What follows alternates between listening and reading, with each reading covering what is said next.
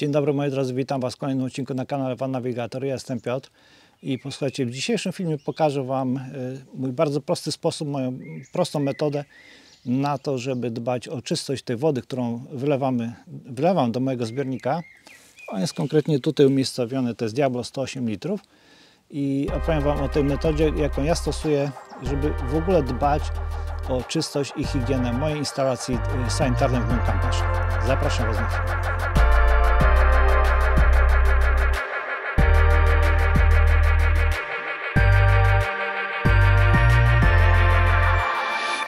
Jak większość z Was, y, moją wodę tankuję do, y, do mojego zbiornika za pomocą zwykłego węża ogrodowego, mniej więcej właśnie takiego jak ten. Korzystam z różnego rodzaju tego typu kształtek, które kupicie sobie w każdym sklepie y, budowlanym czy ogrodniczym, który ma tego typu akcesoria. I tak od razu, jak już a propos, skoro mam już tą końcówkę tego węża, to chciałbym Wam powiedzieć, że jak zobaczycie taką końcówkę przypiętą gdzieś w jakimś miejscu, gdzie podjeżdżacie Waszym kamperem i, i wiecie, że możecie sobie zrobić e, serwis Waszego kampera, gdzie możecie zatankować tą wodę, jeżeli zobaczycie, że gdzieś tam na jakimś kranie jest przypięta taka końcówka takiego węża, to ja bym raczej Wam sugerował, żebyście za jego pomocą e, tego typu rozwiązania nie tankowali wody do Waszego zbiornika, dlatego że nie macie pewności, czy ta osoba, czy te osoby, które przed Wami były w tym miejscu, to czasami sobie nie wypukały y, y, swojej kasety chemicznej, wkładając tam tego typu końcówkę właśnie do środka i przy okazji zanieczyszczając y, tutaj ten wylot fekaliami, bo właśnie akurat ta moja końcówka, tutaj, którą mam, to ja właśnie stosuję do tego typu czynności, jeżeli przyjeżdżam powiedzmy sobie do domu, czy gdziekolwiek chcę sobie wyczyścić moją kasetę i no nie mam możliwości, nie ma akurat w tym miejscu takiego węża, który mogę to zrobić, więc e, ten odcinek ja stosuję właśnie do czyszczenia mojej kasety chemicznej. Tak więc jeżeli Wy gdzieś e, podjedziecie w miejsce, gdzie chcecie sobie zrobić tankowanie wody i widzicie coś takiego, to z tego raczej nie korzystajcie. Ja po prostu mam w moim kamperze, jakby wszyscy, cały zestaw różnego rodzaju węży,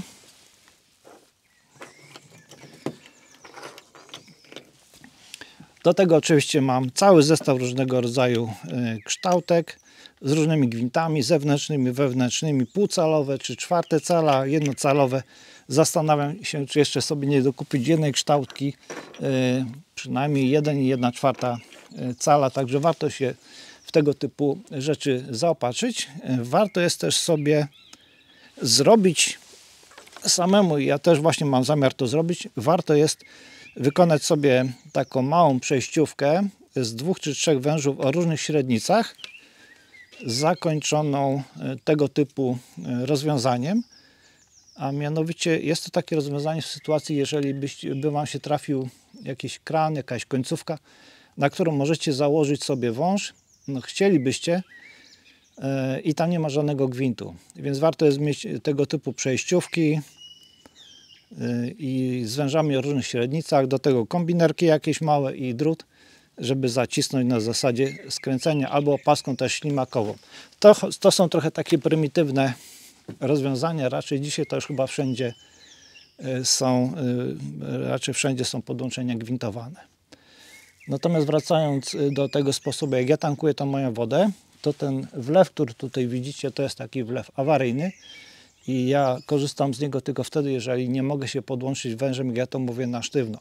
Czyli nie mogę sobie przykręcić węża do jakiegoś kranu i podpiąć do mojego innego przyłącza, y, do którego podpinam to na sztywno, odkręcam sobie po prostu zawór z wodą i wtedy tego y, i wtedy mój zbiornik tankuje. I ja mam zrobione takie bardzo proste rozwiązanie, zakończone właśnie tego typu kształtką żeńską, jak ja to mówię. Natomiast Natomiast do mojego węża, jak już go podłączam do kranu, y, wpina sobie tego typu filtr. I powiedzmy tą część wpinam do węża, tą do tej mojej końcówki do tankowania i za pomocą takiego filterka tankuję sobie tą wodę już ją wstępnie filtrując. To jest filtr, który kupicie sobie, ja kupiłem to na Allegro. One są w cenach 20 kilka złotych do 40 kilku złotych e, maksymalnie. To się nazywa filtr e, prysznicowy albo filtr do słuchawki prysznicowej. Zresztą tutaj nawet jest pokazana na obudowie tego typu słuchawka od prysznica. Z jednej strony jest gwint y, pół cala zewnętrzny, z drugiej strony gwint pół cala wewnętrzny i to jest naprawdę bardzo proste i fajne rozwiązanie na to, żeby sobie tą wodę y, tankować już y, i wstępnie ją filtrować. Tego typu filtr możecie używać, no to jest w opisie podane maksymalnie do 6 miesięcy. Ja uważam, że to i tak jest troszeczkę za długo. Trochę tak nie wierzę w te opisy, ale te 4 miesiące, powiedzmy, czy tam jeden sezon taki wakacyjny, to Wam w zupełności taki filterek wystarczy. Z tym, że wadą wszelkiego rodzaju filtrów jest to, że o ile je stosujecie na bieżąco cały czas, to jest ok. Natomiast jeżeli będziecie używali przez ileś tam dni, tygodni e, taki filtr i następnie zaprzestaniecie używania na powiedzmy, nie wiem, tydzień, dwa, trzy na miesiąc, to ta bioflora, która e, już tu w środku się wtedy powstanie, ona zacznie się gwałtownie rozwija, rozwijać, zwłaszcza jak mamy sezon letni, są wysokie temperatury, więc jeżeli będziecie robić sobie jakąś przerwę w używaniu tego filtra ileś tam tygodni, to myślę, że lepszym rozwiązaniem jest po prostu już wywalenie tego filtra i zamontowanie sobie na następny wyjazd y, nowego egzemplarza.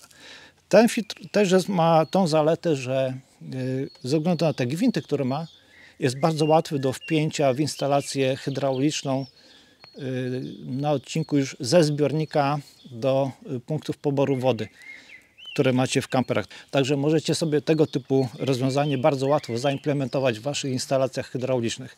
Także bardzo Wam e, polecam e, tego typu rozwiązania. Aha, jeszcze pamiętajcie jedną rzecz, że jeżeli po wpięciu jakiegokolwiek filtra do, was, do Waszej instalacji hydraulicznej nastąpi spadek ciśnienia Waszej instalacji, no to się nie dziwcie, dlatego że e, wszelkie tego typu elementy po prostu wytwarzają dodatkowe opory i wtedy nie pozostaje Wam nic innego jak wymiana Waszej pompy na e, pompę o e, wytwarzającą większe ciśnienie, o pompę o większej wydajności. E, wtedy, wtedy jak gdyby ta zwiększona moc tej pompy i zwiększona wydajność skompensuje ten spadek ciśnienia, który Wam wytworzy tego typu, tego typu filterek. I tego typu rozwiązanie, czyli właśnie wpięcie jakiegokolwiek w ogóle filtra w instalację hydrauliczną jest e, również dobrym rozwiązaniem, ponieważ no, czasami jest taka sytuacja, że też sam mam nieraz takie sytuacje, że muszę zatankować sobie wodę e, przez ten otwór, ale nie za pomocą mojego węża, do którego mam wpięty taki filtr, tylko za pomocą po prostu konewki. W ubiegłym roku miałem, miałem właśnie taką sytuację, że jedyną możliwością, parkowałem po prostu na parkingu przy dużym supermarkecie i e, w tej łazience, która była w tym supermarkecie, jedyny e, punkt poboru wody, jaki mogłem wykorzystać, to była po prostu wylewka przy umywalce, więc e, nosiłem sobie w takim zbiorniku na wodę, nosiłem ją do mojego kampera i musiałem tankować przez ten otwór, ale już nie miałem tej możliwości w tym wypadku tego filtrowania. I, i, I, dlatego stosowanie takiego filtra, jeżeli tak na co dzień tankujecie poprzez wąż, to jest super fajne rozwiązanie. No i drugim fajnym rozwiązaniem to jest wpięcie tego typu y, filterka do Waszej instalacji y, hydraulicznej. Natomiast y, jeżeli chodzi jeszcze o to dbanie o czystość i higienę instalacji sanitarnej w kamperze, to jeszcze to robię tak, jeżeli chodzi konkretnie o mój zbiornik na wodę. Po powrocie do domu ja wyciągam resztki wody z mojego zbiornika od razu, odkręcam dekiel rewizyjny i te resztki wody, które tam zostają, który, których pompa już nie wyciągnęła, wyciągam za pomocą odkurzacza. Mam taki odkurzacz, który może ssać również wodę, także wybieram całą tą wodę, obsuszam ten zbiornik, oczyszczam go sobie i jeszcze robię dezynfekcję za pomocą roztworu wody z octem. Ocet jest fajnym środkiem czyszczącym, jest fajnym środkiem również y, dezynfekującym. Także spsikuję sobie te ścianki w tym moim zbiorniku y, oczyszczam go całkowicie, dezynfekuję i zostawiam do wyschnięcia. E, po dwóch, trzech dniach, jak już widzę, że wszystko jest suche, nie ma tam ani grama wody, zakręcam ten dekiel i mam po prostu przygotowany zbiornik do następnego wyjazdu. Jest jeszcze jeden taki temat, który również e, przewija się na forach internetowych, na forach karawanigowych, a mianowicie chodzi o stosowanie różnego rodzaju wkładek ze związkami srebra. Wkładek, które wkładają, wkładamy do zbiorników na wodę. Ja z tego nie, w ogóle nie korzystam, nie widzę tutaj najmniejszej, najmniejszej potrzeby. E, Po pierwsze, jak stwierdziłem po tych e, dwóch latach eksploatacji mojego kampera, po każdym powrocie, jak przystępowałem do czyszczenia, to tam w tym zbiorniku nie, powstaje mi, nie powstał mi jak do tej pory żaden taki nalot, taki tak zwany film.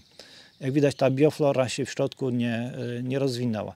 Nie stosuję tych wkładów również z tego y, względu, że jak wiadomo, różnego rodzaju związki srebra, srebra są po prostu, no nie, nie są dobre dla naszego zdrowia, ale tak najba- najbardziej to przekonał mnie argument, który y, usłyszałem, który padł w wywiadzie pewnego niemieckiego youtubera. Zresztą link do tego filmu macie również pod tym materiałem i włączcie sobie ten film, włączcie y, w tym filmie napisy i włączcie automatyczne tłumaczenie na język polski. Będzie to mówiąc na zasadzie kali chcieć gdzieś, ale jednak ten y, główny sens wypowiedzi tego człowieka zrozumiecie. Y, I on powiedział jedną bardzo ciekawą rzecz, a mianowicie, że te różnego rodzaju wkładki z tymi dodatkami tego srebra, one rzeczywiście będą oddziaływały na tą bioflorę, będą blokowały rozwój bioflory w zbiornikach z wodą, ale pod warunkiem, y, że ta woda będzie w nich przechowywana przez tam ileś tam tygodni. Natomiast y, w kamperach nie ma w ogóle sensu sto- stosowania tego typu rozwiązań, dlatego że te wkładki nawet nie zdążą na tą wodę zadziałać. No bo tak naprawdę w naszych kamperach my tą wodę średnio co 3, co 4 dni chyba maksymalnie wymieniamy całkowicie. A te związki tego srebra, te wkładki potrzebują troszeczkę więcej czasu.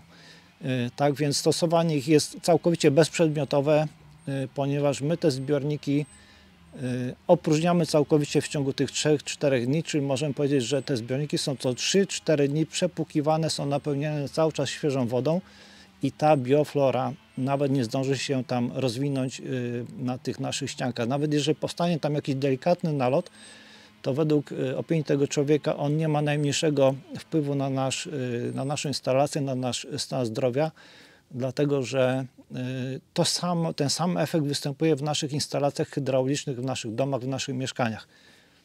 I ja, ja się z tą jego opinią całkowicie zgadzam, bo raz, że rzeczywiście, że te związki potrzebują więcej czasu niż tam ileś dni, one potrzebują ileś tygodni, żeby na tą wodę oddziaływać, to rzeczywiście, no ja mój zbiornik opróżniam maksymalnie w ciągu trzech dni i wlewam nową, czystą wodę. No i z drugiej strony ja, tak wam powiedziałem, ja jeżeli wracam do moim kamperem do domu, przystępuję do czyszczenia mego zbiornika, sobie kontroluję, co tam się dzieje, no to jak do tej pory nigdy nie zauważyłem, żeby mi się tam coś na tych ściankach e, odłożyło. Także ja tutaj nie widzę żadnej potrzeby stosowania tego typu rozwiązania. Natomiast e, regularne czyszczenie zbiornika to jak najbardziej rzeczywiście uważam, że to jest potrzebne i warto jest to robić. Nie ma, nie ma sensu tutaj robienia tego co roku. E, Na pewno po każdym powrocie do domu i robieniu dłuższej przerwy w wyprawach warto sobie ten zbiornik wyczyścić. I tak samo uważam, że y, filtrowanie wody tej, którą wlewam do zbiornika, to też jest taka podstawa. No i drugim elementem uzupełniającym to jest filtrowanie wody.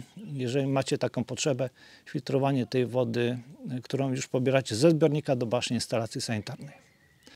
I to wszystko, moi drodzy, na dzisiaj. Serdecznie Was pozdrawiam i gorąca prośba, wciśnijcie przycisk subskrypcji, kto jeszcze tego nie zrobił i skorzystajcie również z opcji tego dzwonka. Wciśnijcie dzwonek z funkcją wszystko, wtedy YouTube Was automatycznie powiadomi, że na moim kanale ukazał się nowy odcinek. I pozdrawiam Was serdecznie. Hej, hej, do następnego razu.